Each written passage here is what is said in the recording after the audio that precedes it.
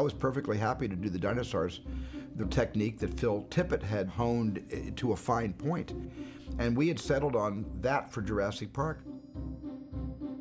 Personally, I didn't think the CG was ready to do Jurassic Park for at least for the close-ups of the dinosaur. I thought maybe we could do like some stampede sequences, because what computers are good at is like in word processor, you can clone something a million times. You can copy a word and and duplicate it a hundred times on the page or anything you want. Well, it's true also of models, and so you could do it with dinosaurs. You could make one Gallimimus dinosaur and, and clone 20 of them and have them all running with the same run cycle. That's the sort of thing that's really hard to do with stop motion or anything like that. But we started doing these tests in CG before the show was going on, and our tests started looking better and better. Dennis Muren took us all out to a lunch, and he said that Spielberg's coming up with this film, and it's going to be stop motion. Tippett's doing all the work, and would it be possible to add motion blur to the stop motion data? So Mark and I batted it up right away. Why don't we just build the whole damn thing in CG? Oh no, no, no, no, no, no, you can't do it. I immediately stuck up my arm and said, hey, come on, come on, digital dinosaurs. But it was definitely, we had to evolve to that point. Spielberg, I believe, had already begun the process of designing and building dinosaurs quite some time before with Stan Winston's group. They do amazing animatronic, puppeteering, sculptures, etc. That whole world of physical visual effects. And we were going to use Phil Tippett, who was considered at the time the best in stop motion. Stop motion essentially is, is that if you wanted to have a dinosaur walk, you're posing it, you take a picture, then you do the next pose and you take that picture.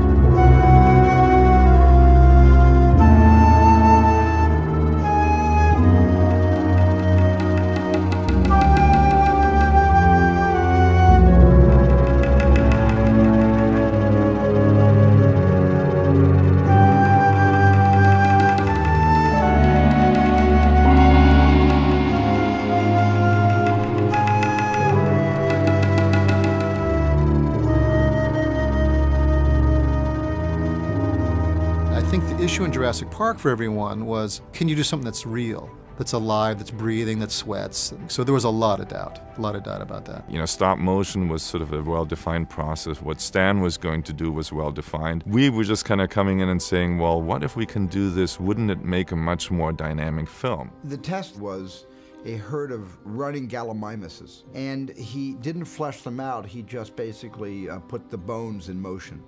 It didn't have that kind of artificial look. It was completely realistic. It looked like skeletons had come to life and were just running throughout Hawaii. And all the onus of stop motion photography was suddenly eradicated. We were both kind of wondrous about what this was promising, this industry. Good. Joey turn. Look. Big eyes. Look.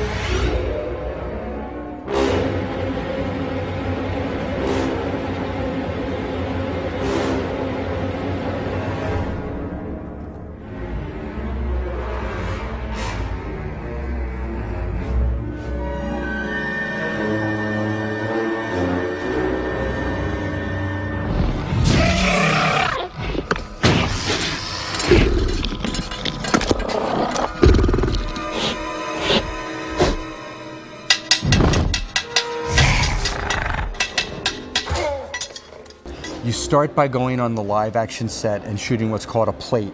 The plate is the background that you're ultimately going to insert that digital character in this example. The plate comes back to the artist. They create a virtual topography that reflects what they've seen in that shot.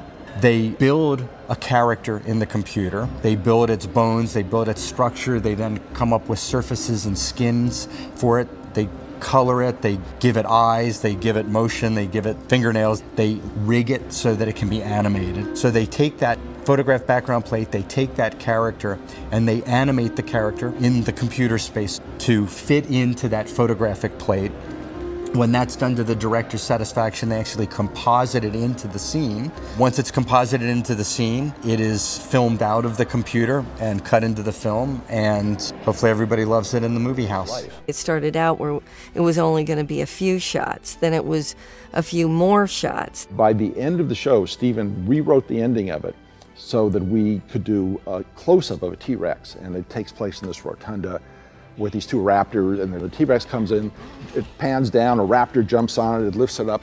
I mean, that's the most amazing thing. And we had no idea, two weeks before that, that we could even do a shot that close.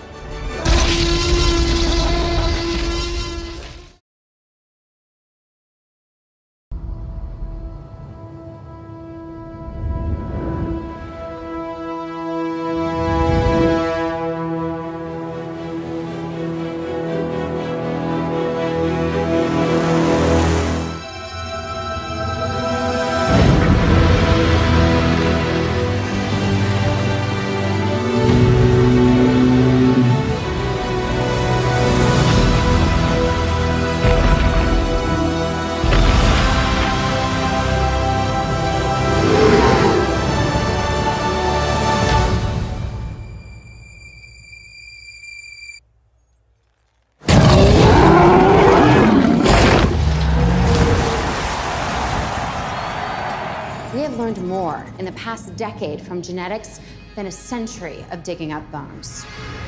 A whole new frontier has opened up. We have our first genetically modified hybrid.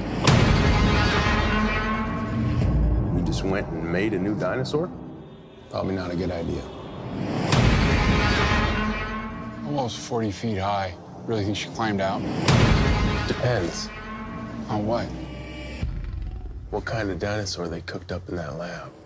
Evacuate the island. She's a highly intelligent animal. Clever girl. She will kill anything that moves.